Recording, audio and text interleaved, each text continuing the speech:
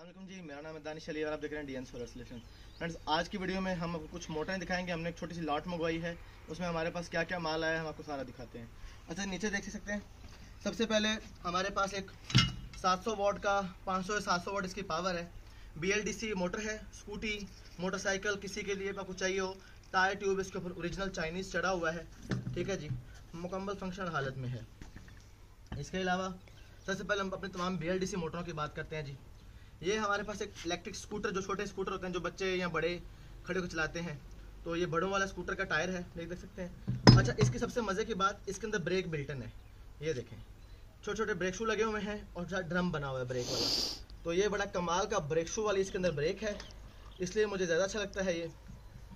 और इसके अलावा ये हमारे पास एक छोटा स्कूटर का व्हील है। अगला व्हील या पिछला व्हील जो भी है ये। एक और स्कूटर का व्हील आया है जी। अच्छा इसके अलावा ये एक व्हील चेयर की मोटर है। इसके अंदर भी ब्रेक है पीछे।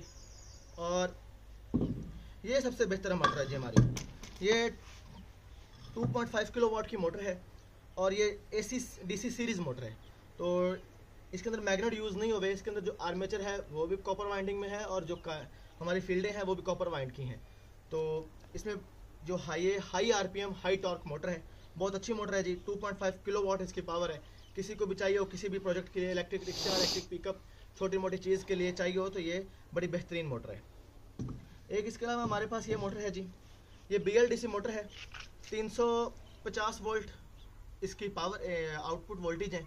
अगर आप इसको यहाँ से किसी चीज़ से घुमाते हैं तो यहाँ से 350 वोल्ट थ्री फ़ेज़ आउटपुट निकालती है ये। ठीक है, इसकी जो पावर है वो 2.5 के 2.3 किलो वोट है। इसके ऊपर स्टिकर के ऊपर लिखी भी हुई है। अच्छा इसके अलावा ये 12 वोल्ट की डीसी मोटर है। इसके साथ हाइड्रोलिक पंप लगा हुआ है। तो ये जो हाइड्रोलिक पंप है, ये बड़ा बेहतरीन है। अच्छा जी, अभी इसके अलावा हमारे पास इस लॉट में दो इंजन भी आए हैं।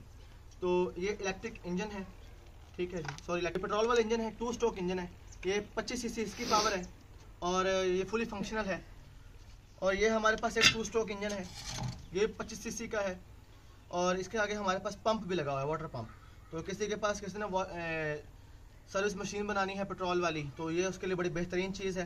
दोनों तरफ़ पंप लगे हुए हैं, एक पंप की स्पीड कंट्रोल भी कर सकते हैं आप। तो किसी को भी इनमें से कुछ चीज़ चाहिए हो तो हमारा स्क्रीन पर हमारा व्हाट्सएप नंबर पर रबता करें। डिस्क्रिप्शन के अंदर हमारा व्हाट्सएप नंबर है। थैंक यू, अल्लाह हाफिज़।